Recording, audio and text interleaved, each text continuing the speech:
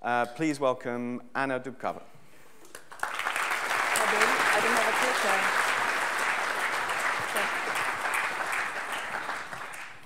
Thank you. Hi, everyone. Does that work? Does that work? Yes.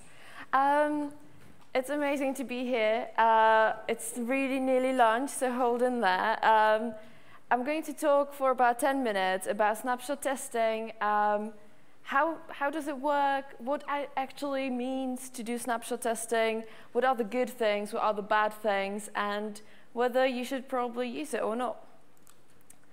What is it? Um, so it's a, this like new way of testing uh, JavaScript, um, potentially mainly React. Um, and I guess it's, um, it's kind of based on, oh, sorry, the triangle, right? Um, so it's, uh, it's kind of like a unit testing, but a little bit different because it kind of changes the paradigm of how you think about your tests. Normally in unit testing, you would write the tests first, and then you would try to match your code to the test in an ideal world.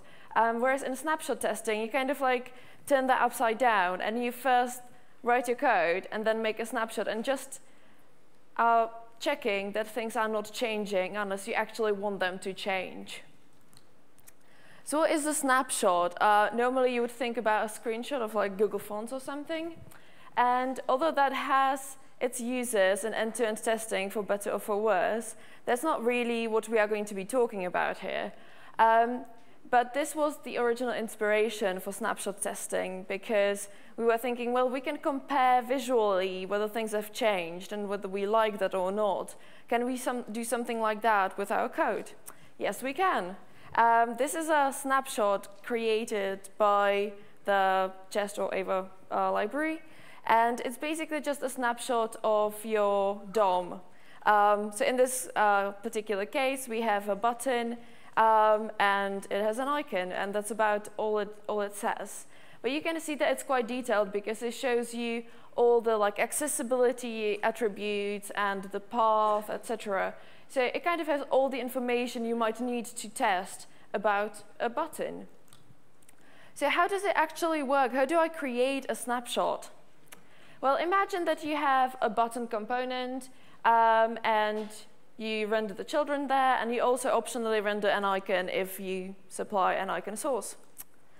Um, and now writing the test is actually really simple because normally you would need to write, okay, so there is um, the children, I need to check that they are rendered, I need to check that there is an image, um, that it has uh, empty old, that it has role presentation, etc. So you need to write a lot of different cases for just one case, really. Um, so instead, we can just say, OK, the button adds an icon if I give it an icon source. And you know, I render it, and then I say to match snapshot. And that's pretty much it. In, what, two, three lines of code, you get everything you need to check that your button is doing what you actually want it to do. Um, there are a few things I would like to point out here. We found out throughout using um, snapshot testing that really rendering the whole component or mounting the whole component, especially if it's like a component composed out of components, is really tedious. It becomes really difficult to manage those snapshots. So that's why we are using shallow rendering from Enzyme. And then there's this library, Enzyme to JSON, which uh, transforms whatever Enzyme gives you into the snapshot. And then when we run the test, it will just say, OK, there was one snapshot written.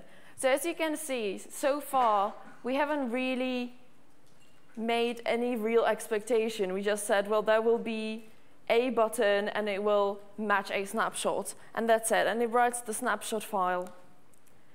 But later on, um, let's say a designer comes back to us and says, well, you know, the icon that is on the button that is on the left, now we want it on the right. Is that possible?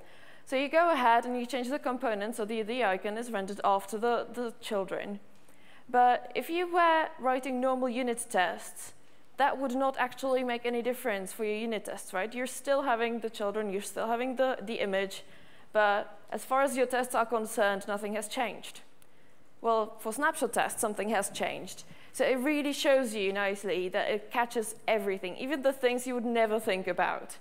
Um, so in here, it says, OK, well, the submit is at a weird place. Are you sure that you really wanted to do this? So sometimes it would point out that I made a mistake in this particular case. I would say, no, this is definitely right. And I would update the snapshot uh, using the CLI tool. And then it would just tell me, yep, yeah, one snapshot updated, it's done. So in terms of testing frameworks, um, at the moment, it's pretty much Jest versus Ava. Um, so Jest is the one that introduced um, snapshot testing to begin with, and they kindly put it into like a separate package. So later on, I took that package and uh, implemented it into Ava so that we could use it um, together with the testing framework of our choice. Um, Ava doesn't have all the features. So for example, it wouldn't delete obsolete snapshots from your test file. So there's a little bit more management you might need to do. just as sort of like the fully fledged um, testing framework, but it's, it's really easy to use uh, them in both. Um, one thing that I would really uh, like to give a huge shout out to, to Jest team is their watcher. They have an amazing interactive watcher you saw in the screenshots uh, a few slides back. And it really allows you to just like press one key to just, I don't know, run the files that you wanted to run or um, update snapshots. So that makes managing the snapshots and running your tests really, really simple. So what is good about snapshot testing? As I mentioned already, um, it really allows you to do better test coverage, um, somehow by default, I guess. Um, as you saw, it literally takes every single thing you put into that component. Um, and if you combine it with like default props and prop types, etc., you get a really nice, sort of like well-round test for any unit, for any component that you actually write. Um, and you don't have to write, I don't know, 10 different cases for, for one button. Um, it's really easy to write. As you saw, it's just like a few lines of code. Um, uh, yeah, you don't need to really like go through a hassle of actually, you know, like finding the right element without the element and making sure that the element has now the right attributes because everything is done for you automatically. The snapshots are really easy to update, not only update, but also to manage them in general, you know, like update them, delete them, etc. It's kind of all automatic. The tooling around it is really good. And I would say like the best use case for snapshots is refactoring. Um, let's say that you're changing something, I don't know, let's say you have a list of components and you're changing something in one of those components and you're not quite sure how that will affect the rest of the application because probably you were reusing those components all over the place. And snapshot testing is really amazing at pointing out all those different places where things have changed so that you can get, then go and make sure that everything still ties in together.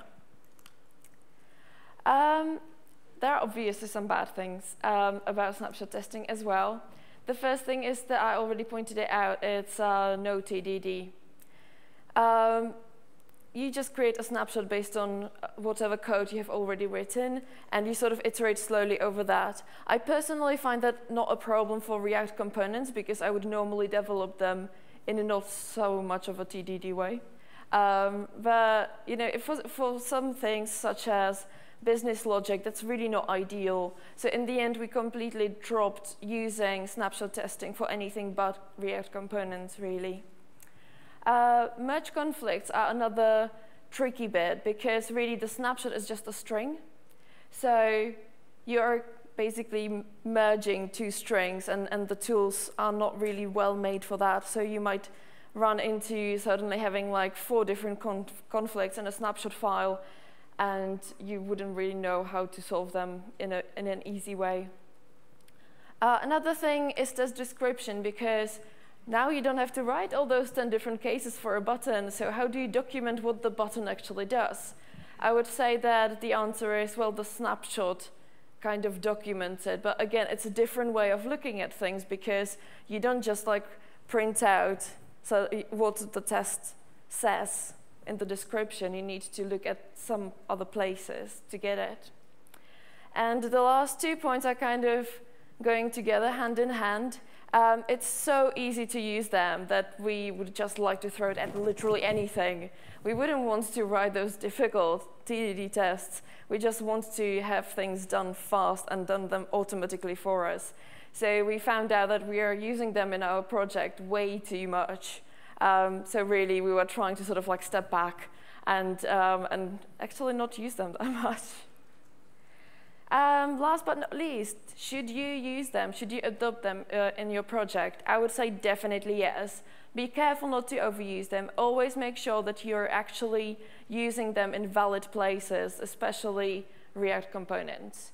Um, but they're definitely great. If you're using already Jest or Ava, they are literally super simple to implement, and they will probably add a lot of value to your writing tests. Thank you.